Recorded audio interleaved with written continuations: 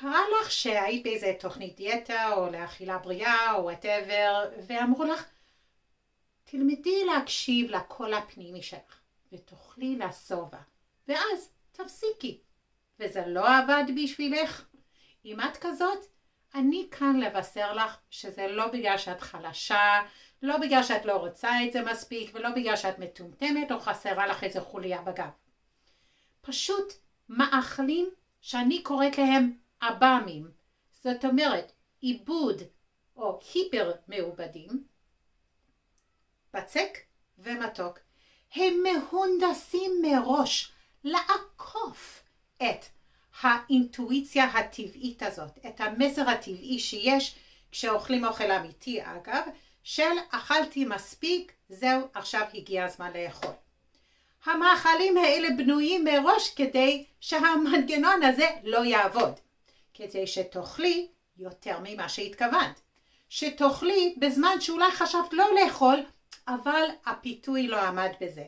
בשם הרווח, המאכלים האלה כל כך טעימים, כל כך מושכים, כל כך מגרים, שהעניין הזה של לאכול לשובע ואז לעצור הוא מאוד מאוד קשה. כשמתפתחת כבר התמכרות לאוכל זה כבר אפילו בלתי אפשרי, אבל העובדה היא שיותר מ-50% מהאוכלוסייה הבוגרת או בעודף משקל או בהשמנה ואף אחוזים יותר גבוהים מזה חולים מאיך שהם אוכלים, מאיזושהי מחלה מטאבולית כלשהי, כמו סכרת סוג 2, או יתר לחץ דם, או בעיות לב, או מלא מלא מלא דברים. ולכן אני כאן לפוצץ את המיתוס הזה של אחת ולתמיד שאפשר וזה לגמרי מצופה שכל אחד ידע מתי להפסיק עב"מים. עב"מים מאכלים שהם לא מהעולם הזה, שהם לא מהטבע, שהם היפר מעובדים, עיבוד, בצק ומתוקים. זה פשוט, זה, הם, הם בנויים כדי כאילו לגרום למערכת הזאת לא לעבוד. אז מה קורה, לדוגמה, בשיטת יעד, כשנגמלים מהמאכלים הממכרים האלה, שבנויים ומהונדסים מראש, כדי שתאכלי יותר ממה שהתכוונת, לעתים יותר קרובות ממה שהתכוונת, אז מערכת השובע הטבעית הזאת נכנסת לפעולה. אז היא יכולה לבוא לידי ביטוי כי זה מערכת טבעית שבנויה למזון טבעי, למזון אמיתי, שאלוקים ואימא אדמה התכוונו שנאכל אותו. וכשאוכלים את האוכל הזה, הנה בדיוק הבוקר דיברתי עם אחת מהלקוחות שלי, המבורכות שלי, אני קוראת להן מבורכות כי הן בתוכנית משקל בריא וראש חופשי, אז הן מבורכות בהחלט, והיא אמרה לי, אני אתמול לא הייתי רעבה כל היום, פשוט בערב כבר אכלתי משהו כי אמרתי אני צריכה לאכול משהו, אני צריכה להזין את הגוף שלי היום. היא אוכלת שתי ארוחות ביום, והיא אומרת, והציפי, אני לא חושבת על אוכל, אני שבעה, זה לא קרה לי אף פעם. אגב, האישה הזאת הורידה בחודשיים 13 סנטימטר מההיקף הבטני שלה, בלי להיות רעבה, בשובע, באמת בלעצור כשהיא שבעה, כי היא מתמקדת במזון שבאמת תומך במערכת הטבעית הזאת. אז אל תצפו כשאתם אוכלים איזה גלידה או שוקולד לדעת מתי לעצור באופן טבעי.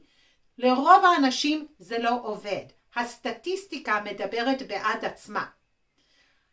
לכן, או שצריך לשים גבולות מאוד מאוד מאוד ברורים מסביב לזה, להחליט מראש כמה אוכלים, וזה צריך להיות מאוד מאוד מעט כדי שזה באמת לשמור על הבריאות.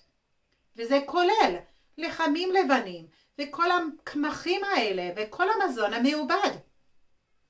ולכן צריך לעשות מאמץ מיוחד לאכול בריא, כי הרוב מה שיש זה האב"מים האלה. אבל אנשים, נשים כמוני, שמכורות, נשים וגברים כמוני, שמכורות ומכורים לאוכל, המנגנון הזה פשוט לא עובד כשזה מגיע לאב"מים בכלל. אף פעם.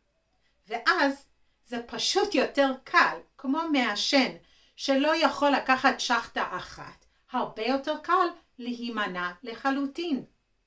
יחד עם זאת, אני מלמדת בתוכנית שלי לחיות גם עם חוסר מושלמות. אבל בואו נשבור את המיתוס הזה אחת ולתמיד, שכולנו אמורים ללמוד איך לאכול בצורה אינטיבוטיבית, להקשיב לגוף ולאכול רק לשובע, כשמדובר בשוקולדים ועוגות ולחמים אה, כל, מיני שמוכרים אותם במאפיות היום. אז אם אתם כאלה, אני מציעה לכם פשוט לקבוע את זה מראש, אם אתם לא יכולים, ואני יכולה להגיד לכם, אם אתם מסתובבים כל הזמן עם ההרגשה הזאת של רעב ורצון למתוקים ולבצקים האלה, הגיע הזמן לעשות תקופה של גמילה. גם מי שלא מכור, אם הוא בתוך המעגל קסמים הזה של לאכול ואז לרצות ולאכול ואז לרצות, תקופת גמילה יכולה לעשות איזשהו איתחול מחדש של המערכת. ואז מנגנון השובע באמת משתקם ומתחיל לפעול בצורה טבעית, כי הוא מקבל רק הגוף, רק אוכל טבעי. אחרי זה, אנשים שלא מכורים אולי יכולים להרשות לעצמם מדי פעם איזה משהו. אנשים שיש להם בעיה, שהם מרגישים שהבעיה שלהם עם האב"מים האלה, עיבוד בצק מתוק, זה כמו מעשן כבד לסיגריות. צריך לעשות גמילה, ולפעמים זה קשה לבד. בשביל זה אני כאן. אז אם אהבתם את הסרטון הזה, חשבתם שהוא חשוב, תעשו לו לייק, תעשו שיתוף, הרשמו לעמודים שלי באינסטגרם, יוטיוב ובפייסבוק. ולמטה יש את הסדנאות ושירותים שלי קישור שאפשר להיכנס ולראות איזה תוכניות יש לי להציע לאנשים. שיהיה לכם המשך שבוע נפלא. כאן ציפי לבנה במסר השבועי של ציפי. להתראות.